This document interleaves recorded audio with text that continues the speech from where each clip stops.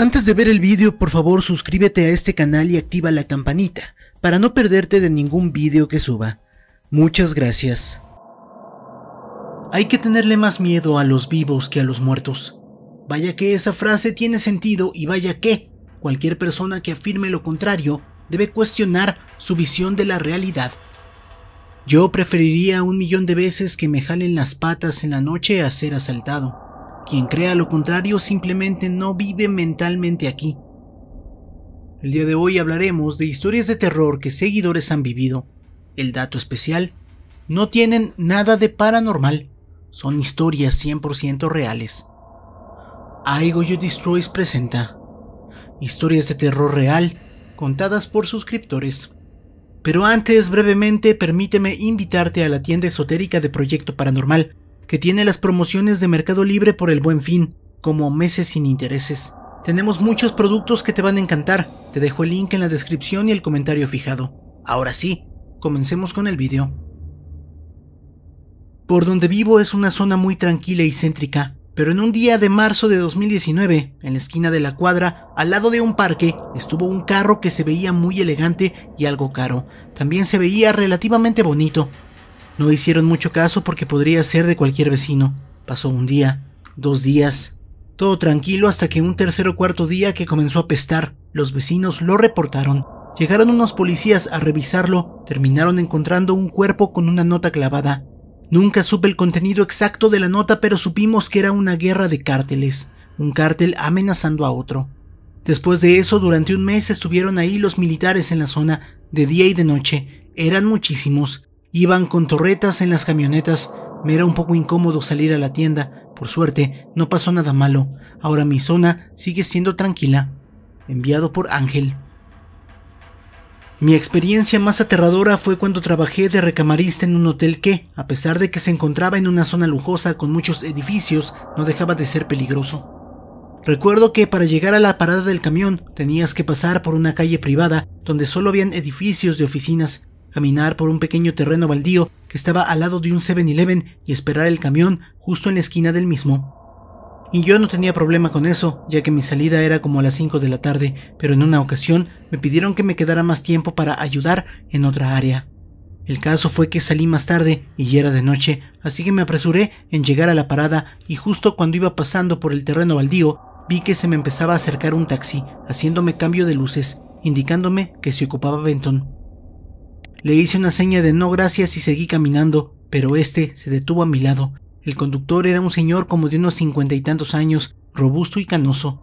Cuando se detuvo me preguntó que qué hacía, que hacia dónde iba. Obviamente le dije que iba hacia una colonia más lejos de mi casa y que por eso iba a tomar el camión.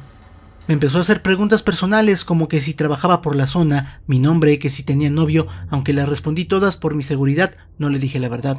Como que mi nombre era Nancy, que trabajaba en una de las oficinas, etc. Y te preguntarás, ¿por qué le respondiste a un extraño? Bueno, porque pensé que si me portaba grosera con él, se pondría violento y me haría algo como golpearme o secuestrarme.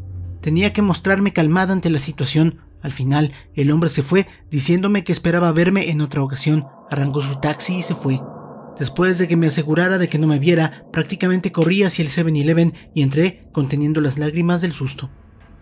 Me quedé ahí adentro hasta que por la ventana vi que se acercaba el camión, así que salí para hacerle la parada y subirme. En todo el camino no dejaba de pensar en lo que pasó y en cómo me libré de ese hombre siendo amable y linda con él, y que de no ser así, otra cosa hubiera sido. Enviado por Gabriela. Hace años falleció mi padre justo en noviembre y para acompañar a mi mamá yo regresaba temprano todos los días y ese en particular mi mamá salió de casa por primera vez en 20 días. Comenzaba a oscurecer y llegamos a casa y seguí acomodando las cosas en el refri y se escuchó una discusión en la calle y envases que se rompían. Al lado mis vecinos tienen una tienda. Y más gritos y de repente escuché como un crujir de huesos y una voz que decía, lo mataste, lo mataste. Eso fue a las 7.30 de la noche y comenzó una noche fatal. Llegaron patrullas y gente rara. Mi mamá nos dijo apaguen todo y no hagan ruido. Escuchábamos todas las conversaciones y comenzaron a tocar puertas de los vecinos y obvio la nuestra y hombres subiendo a las bardas, iluminando con lámparas y como a las 10 o 11 pm llegó su familia y a la 1 am la forense de ahí hasta las 3 de la mañana. Nunca supimos qué fue exactamente lo que pasó, ni quién era el chico fallecido, pero la angustia y terror esa noche nos hizo dormir en una sola cama. Uno de los vecinos que abrió la puerta contó que lo golpearon y lo interrogaron al igual que a su esposa y al poco tiempo se fueron. Enviado por Dulce. Me dirigí hacia la casa luego de hacer mis pasantías de derecho, tomé el bus que va directo, empecé a transpirar como nunca lo había hecho, me quité el saco y saqué un pañuelo para limpiarme el sudor de la cara. Mi pañuelo estaba empapado, quizá fue un bajón de la presión, nunca me había pasado algo así.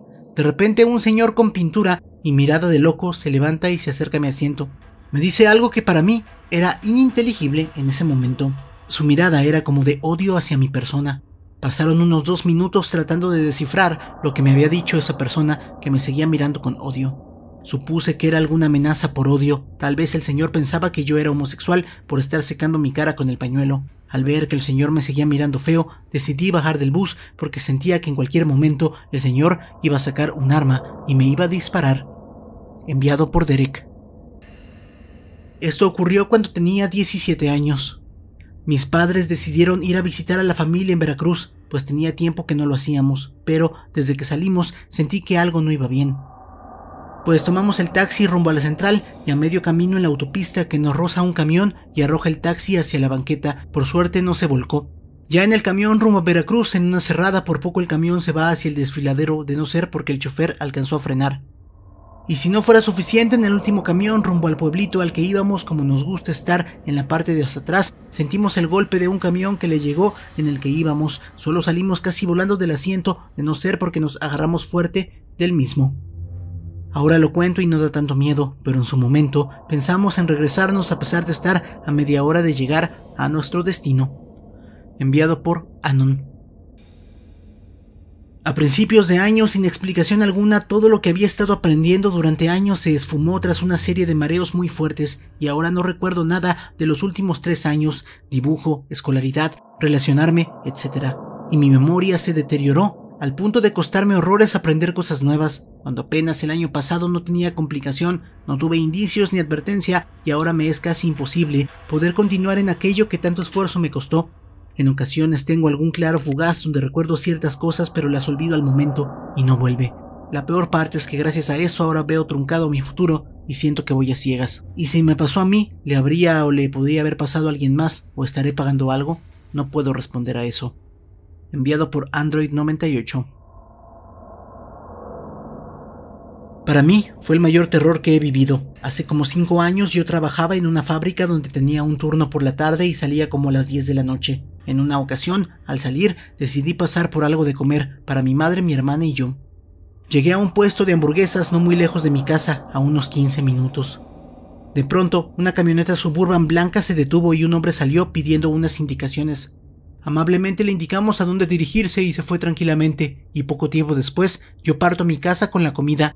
Tras unas calles, la misma camioneta que vi antes aparecía en un cruce y me cerró el paso. De la camioneta bajaron tres hombres y me subieron a la fuerza, me quitaron mi mochila y comenzaron a revisarla. Me preguntaron mi nombre, a dónde iba y de dónde venía.